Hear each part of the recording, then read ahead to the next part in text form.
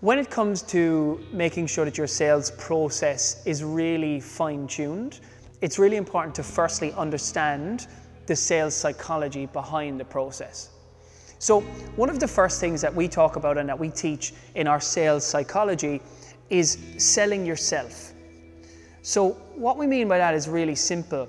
If you personally don't believe in the product or the service, how, in the name of God, can you then push that product or service? So, the most important thing that you need to do from this moment forward is sell yourself to yourself. Understand your value, understand how much you matter and how much your service impacts other people. If you can start there, your own psyche will come on board and you'll present better, you'll be more confident, and you'll come across not salesy, ironically, but you'll come across as a really good trustworthy person because that's what you are. So understand that you first need to sell yourself. The common analogy in the sales space is the first door you need to close is your own car door before you leave for your work, right? So again, close yourself, sell yourself before you sell anybody else. If you can get that right, you're already onto a winner.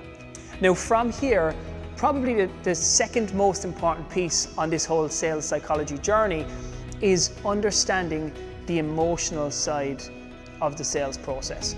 And what we mean by that is checking in on your EQ or your own emotional intelligence, self awareness, being aware of how you present and how other people present is really important.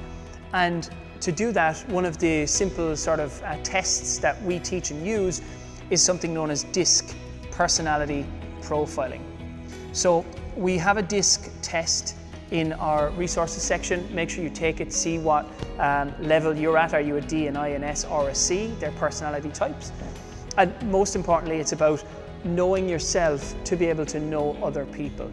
So again, sell yourself first, then understand the emotional side of selling, the, the emotional intelligence, and then the next step would be understanding the SARE sales equation. So we have a really simple equation that we use to help fitness business owners live and, and dive into these two pieces particularly. So it's really simple. And, and we've, we've cultivated this equation over time and it works every time. So what it looks like is emotion plus connection equals success and sales. Promotion plus collection equals stress and fail.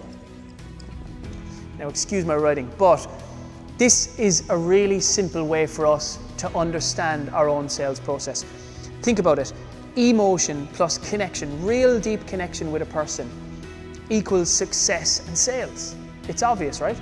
Promotion, so fight to the bottom, 20% off, 50% off, 70% off, plus collection, who can get the most leads, who can get the most connections, equals stress and fail because you're going to be selling yourself out at a really cheap price point and you're going to have to do it to the world, to everybody.